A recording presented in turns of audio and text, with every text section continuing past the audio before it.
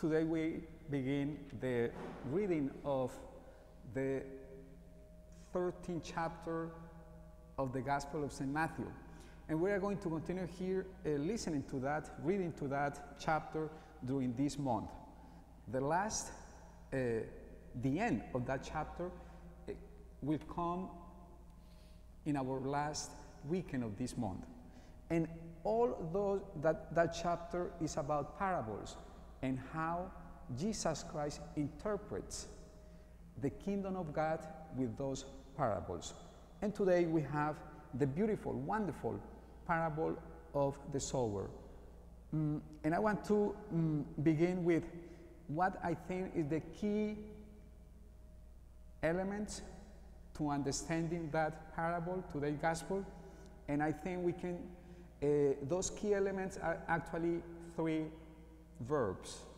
The first one is hear or listening. The second one is understanding. And the last one is produce.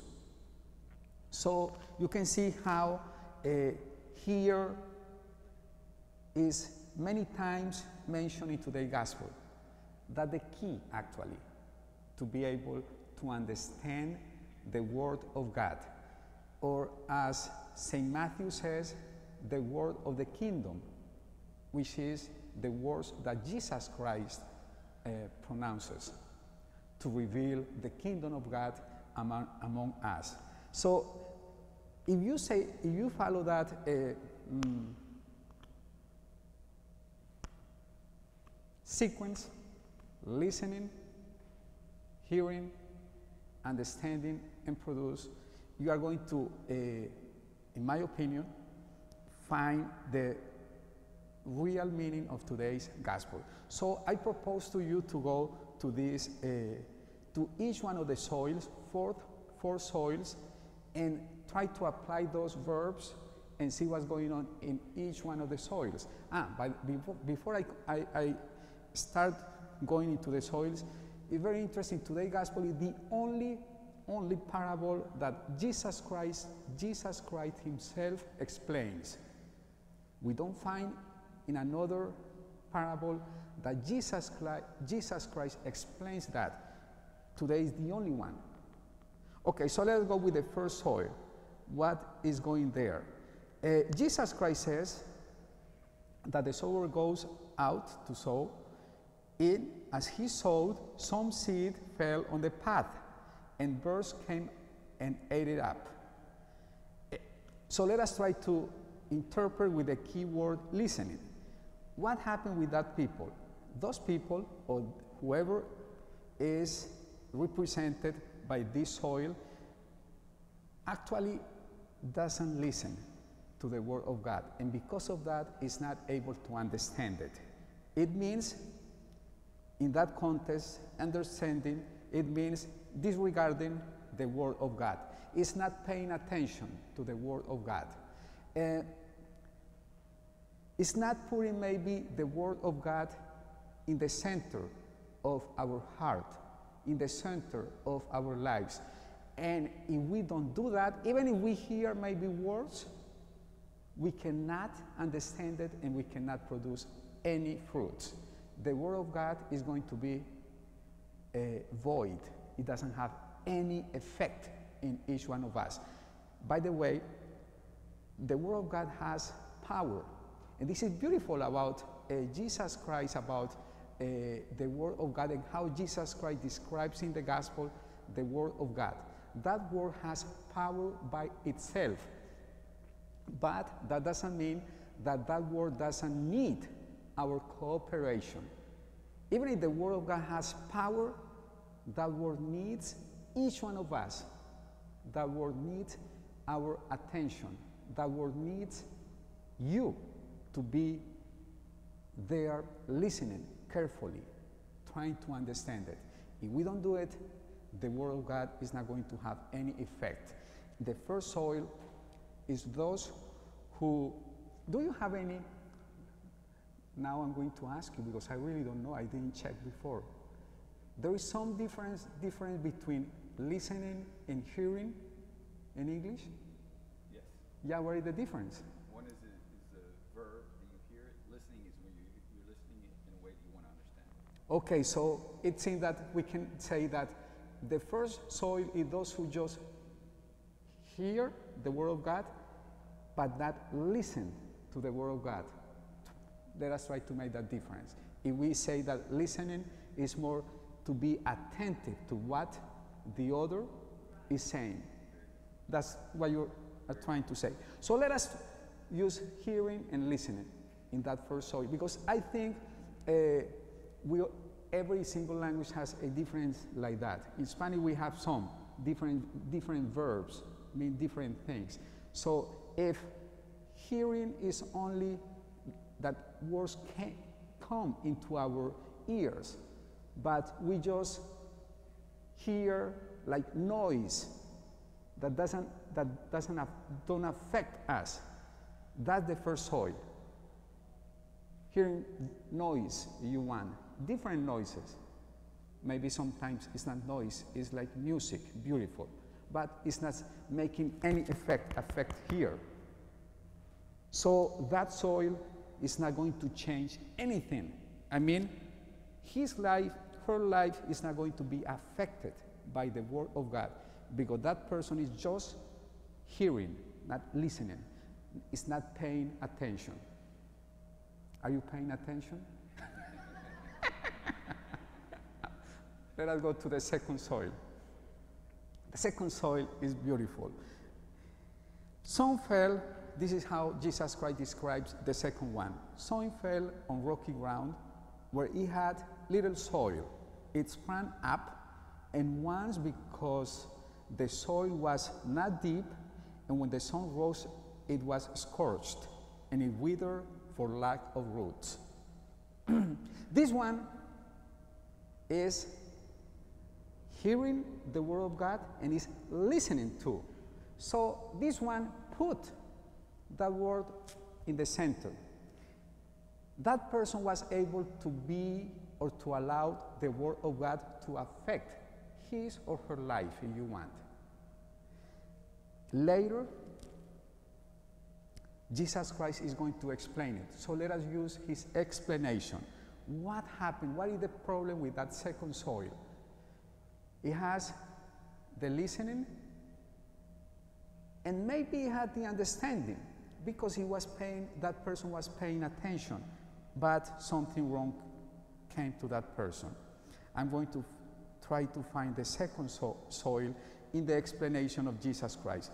The seed sown on rocky ground is the one who hears the word, hears the word and receives it at once with joy that person receives that word because he or she understood the word with joy, understanding it. Joy, there is joy. But he has no root and lasts only for a time. When some tribulation or persecution comes because of the word, he immediately falls away. So there is no root because I don't know how to explain that. Is the person who maybe is like on fire? Uh, the best explanation I have is maybe those who go to a retreat, if something happened in his or her life and they are on fire, they come back to the parish trying to change everything at once, right now. When they see that it's not so easy to do it at once, but that takes time, they start to, that flame, that fire begins to extinguishing little by little. It was like that. And one day, just disappear. Hmm. And maybe we don't see that person anymore at church. That can happen to us. This is like the conversion, the first conversion you want that we have. But there is no discipline, and many different exterior things come into our lives and is going to affect our continuation in the listening, hearing, understanding the Word of God. That second soil is maybe the person who has many gifts, the gifted people who want to do many things at once, but they lack discipline, I think. So little by little, again, they extinguish. Their flames begins to extinguish little by little until there is nothing. Let us go to the third one, the third soil. Some seed fell among thorns, and the thorns grew up and choked it. Let us see the explanation that Jesus Christ gives for that third soil. The seed sown among thorns is the one who hears the word, but then worldly anxiety and the lure of riches choke the word and it bears no fruit. Two things happen here. Like the second floor, excuse me, the second soil, these people listens, hear, and understand. But there, here is not like this uh, flame is, becomes to extinguishing because they don't see any result maybe. Here is the worldly anxieties and riches, wealthy. The problem here is that we begin sometimes, that can happen to us. I said at the beginning that the Word of God has to be in the center of our lives. And when I'm saying that, we can say in our heart. And the Word of God has to stay there all the time. All the time. With that, this third soil, the problem is that problems in the society, in their life, began, begin to, little by little, put away the Word of God, and that anxiety takes the place of the Word of God in our heart, little by little. And it's very dangerous because we cannot detect that easily. Anxieties, whatever it is, problem that we have. And we are starting little by little putting that in the center, and the Word of God is going out of that center every day, a little bit, a little bit. Or maybe if whoever is focused only in riches, maybe wealthy things, material things. And the entire life is focused on that. So little by little, that is going to take the place of the Word of God. It's going to remove it from the center. So that person is not going to produce any fruit either. It's very dangerous. It's the distractions that we find every single day. And the last one is the simplest one. Jesus Christ just says, with the last one,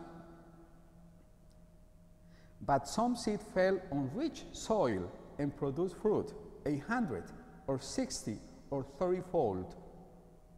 And the explanation, but it's very simple too. But the seed sown on rich soil is the one who hears the word and understands, understands it, who indeed bear fruit and yields a hundred or 60 or thirtyfold. This one is the one who hears, listens, understands, and produces fruit. So keep, whoever keeps the Word of God in the center of his or her life. That's the invitation for each one of us. And I want to finish today's homily quoting the Catechism of the Catholic Church in the paragraph 2705. In that part of the Catechism, the Catechism is talking about the three different prayers that we have in the Catholic Church. The first one is the vocal one, when we pray saying words, like when we pray saying, Our Father who, who, who art, Hail Mary, whatever, okay? We pray. We come here and we can pray too, vocal prayer. That's the first one. There is another one, meditation. We don't say any word, we think. Meditation. And there is another one. We don't say anything, we don't meditate anything, we just contemplate.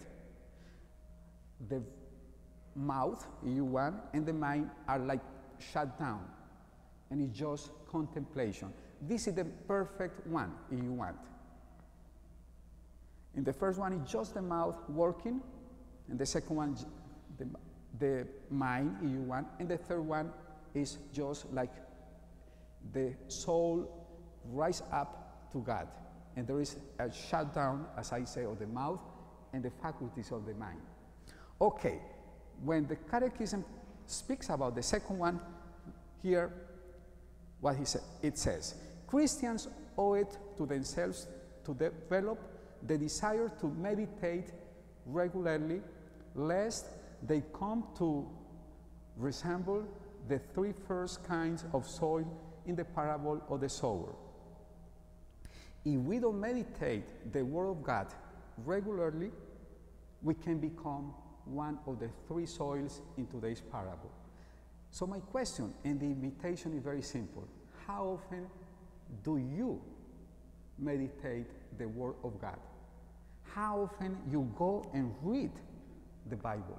And not only read, trying to read like mechanically, but listening to what God is telling you in that text and trying to understand what God is asking you to understand. If we don't do that, we are not going to produce any fruit and we are going to become one of the three first soils. Just like that. There is no magic in here.